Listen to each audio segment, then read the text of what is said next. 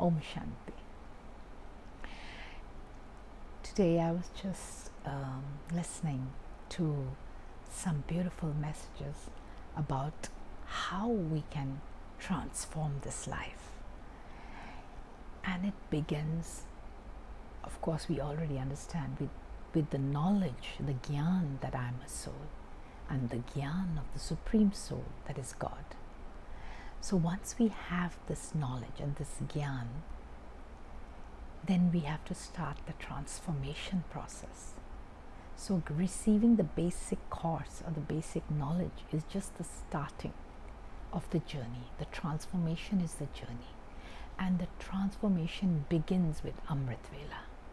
Just as the cycle of time, there's a dawn, there's a golden age, and then there's the night, the depths of the night, the end of Kal Yuga and then the beautiful Sangam Yug, which is the dawn of transformation.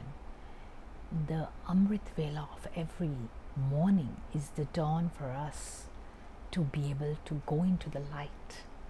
And we need to use that period, that time to transform. The early hours between 2.30 to 5 o'clock maybe, you know, those that in that hour the world is still. All thoughts, because we as souls are thoughts, we send out vibrations and energy and thoughts into the world, and so there's a traffic of thoughts out there whole day. So when we get up at Amrit Vela, we avoid that traffic of thoughts. We avoid the vibrations and energies, negative energies around that are all asleep. And so we are able to uh, stay in soul consciousness and receive uh, the power and the connection from the divine beautifully. And so we are able then to transform ourselves and transform our minds and transform our um, selves by connecting, by first the first thought being i'm a soul beyond this body. I, I need to remind myself every single day because since the moment i've born and i've been born in this lifetime and so many lifetimes i have forgotten that i'm a soul. So to tell myself and remind myself that i'm a soul and to feel myself in that silence beyond the outside to see myself inside as that point of light beyond this body is very important. And then to understand where I came from and to then uh, be grateful and thankful for having received this beautiful knowledge and to feel myself in the company combined with the divine, with God, and to feel Baba, as we call God, Baba, to feel Him close to me and to know that He is with me, empowering me in every moment and every second that I choose to take His powers. It's beautiful. And we need to do that from the morning, the dawn, from Amrit Vela. And of course, we have the practices to go on all day, that every hour try to be in soul consciousness and God conscious. So, first soul conscious that I am a point of light, and then God conscious that Baba is also a point of light and I am in union with Him. So, that, that silence inside and that using my vision and consciousness to um, and emotions and full attention and focus, concentration to see myself as that point and to see Him as that point inside and to connect and take that energy and take that um, all the virtues and all the powers of tolerance, of patience, of love, of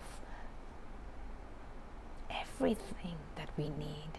The power to face, the power to uh, tolerate, the power to um, distinguish, to discern, to withdraw, to pack up all these beautiful powers that we need and the virtues that we need, the divine virtues of love, of truth, of peace, of purity. All these things we can take through our thought, through our vision, in union with Him. From Amrit Vela, and perhaps every hour a few seconds during the day, and last but not least at night before we sleep. And if we are practice enough, we can even uh, focus to change our sleep and sleep with the divine, sleep with God. And each time we awake at night, we are with Him and we feel that and we keep feeling that. Then our sleep is also with Him. And of course, when we cook and we eat and we remember that purity and we send that energy into our food, into our water, it changes and transforms us. So that is transformation. So, uh, for all of those of you who are a bit advanced and have understood um, Raj Yoga, we really need to go into the depths of transformation at this uh, last few years that we have to make the most benefit of what we have understood and live those qualities by taking from God, from Baba. Om Shanti.